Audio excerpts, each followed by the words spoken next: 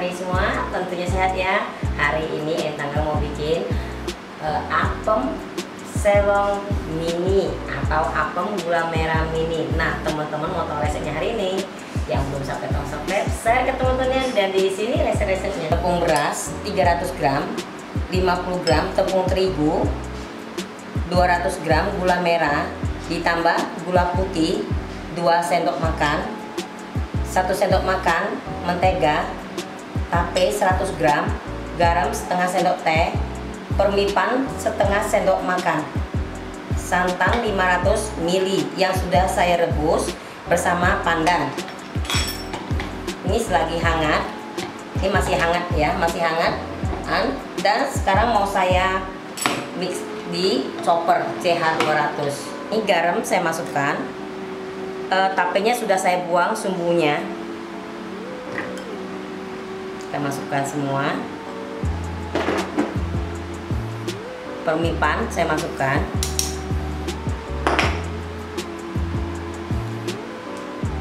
Ini mentega satu sendok makan saya masukkan.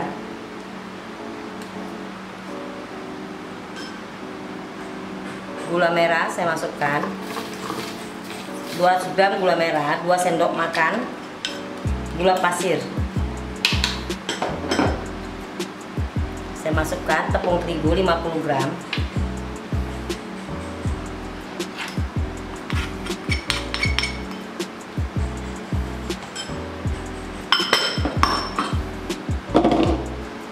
Tepung beras saya masukkan ini 300 gram.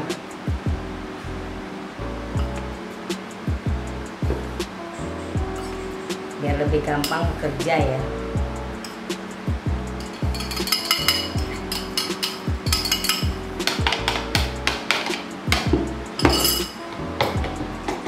santan saya masukkan.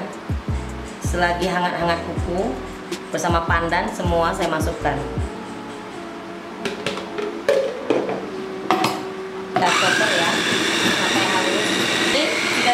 Selama 5 menit. Mau kita saring kenapa karena uh, semua saya saring karena dia ada pandannya tadi. Pandan kan saya giling terus biar wangi. Sekarang kita saring biar kesaring pandannya. Ini sudah selesai kita diamkan dulu sampai 30 menit. Ini sudah kembang sudah 30 menit. Sudah 30 menit jadi saya sekarang uh, manaskan ini ya. Loyangnya ini. Dan saya lapisi dengan besi. Ini besi agar nggak cepat hangus karena ini uh, tipis. Jadi kita panasi dulu sudah panas nanti baru saya pakai api kecil. Pakai api kecil juga dia sudah panas ini sudah panas. Oke kita tunggu. Ini memang pancinya teflon. Udah hangat ya. Ini juga saya olesi mentega cair mentega tadi. Jadi kelihatan dia sudah berminyak ini. Memang waktu pertama kita olesin aja ya. Nanti kedua ketiga sudah nggak usah. Yang pertama aja. Kita tuang begini lebih gampang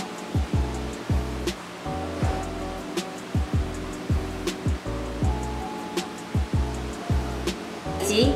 Jangan terlalu penuh banget. Begini aja langsung kita tutup. Kita memakai api sedang aja.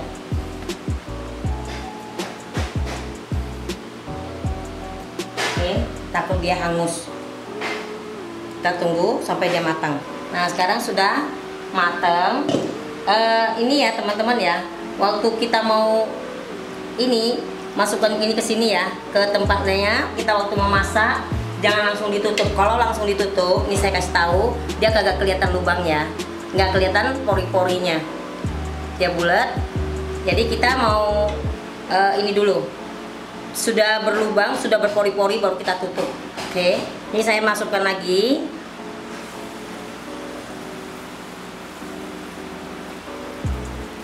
Kita bikin semua sampai selesai ini ya, kita panggang. Kita mau lihat cantik ya kuenya. Kelihatan tuh pori-porinya semua. Sewaktu manggang uh, kita jangan langsung tutup ya. Kalau langsung tutup, dia tidak kelihatan lubang pori-porinya. Yang seperti ini tidak kelihatan lubang pori-porinya jadi kita langsung panggang biarin dulu dia bikin pori-pori baru uh, sudah mau matang kita tutup 5 menit sudah selesai ini kita mau coba manisnya pasti udah pas lembut banget enak cukup gurih dari setengah biji kelapa oke? Okay? satu resep setengah biji kelapa sudah cukup oke okay ya? Nah teman-teman mau tahu resepnya hari ini? Tonton sampai selesai. Tunggu menu selanjutnya. Terima kasih